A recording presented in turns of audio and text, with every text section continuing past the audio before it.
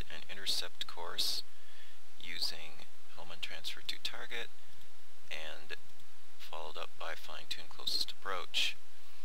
Separation is going to be 0.0, which uh, I probably won't want to actually let it get quite that close, but uh, what I am here to demonstrate is this. Watch the ship spin. Why is it rolling? Why is it rolling at all?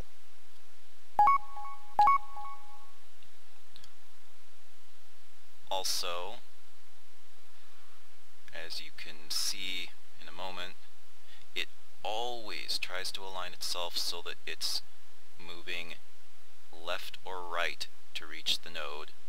And because of the way it rolls so much, it, even when it's doing the um, ascent autopilot, if the uh, node ends up greater than 90 degrees around the nav ball, instead of doing a 90 degree to 180 degree turn directly toward it, it goes around the horizon after lifting the nose up into the air and then rolling left or right. I'm making hand motions here that you can't see. but it also overshoots it dramatically. My attitude adjustment settings here are I believe at the defaults this might normally default to 800, but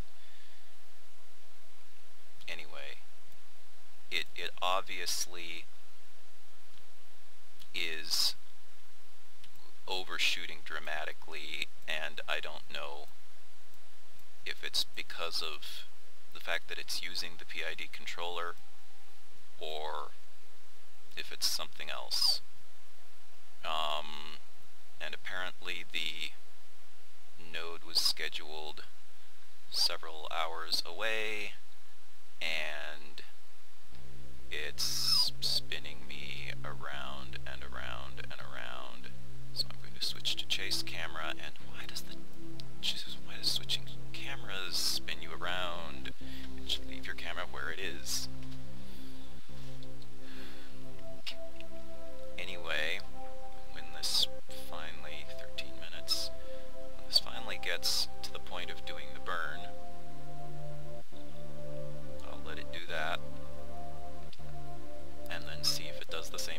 next node. So far it has been doing this on pretty much every node I plot. This ship is massive and fairly sluggish, but it has a bunch of these uh, torque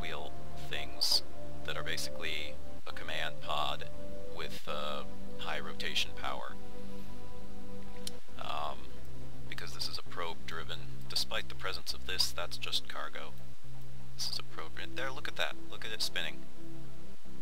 Why is it spinning? There's no need to spin in order to point the nose toward a node that's 15, 20 degrees away. Oh, it's spinning because it's disengaged.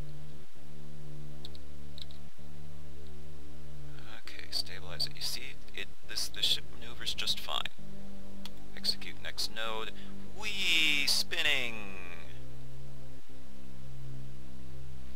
And massively overshooting even on the spin. Yeah, I think the default on this is 800. so let's try plugging that back in. Uh, but yeah, it just, it goes way past. It's not like, I mean, I've got, I've also got RCS on here, so, but that doesn't really make a huge difference. This is, this is very heavy. This is 148 tons of, of, of cargo here.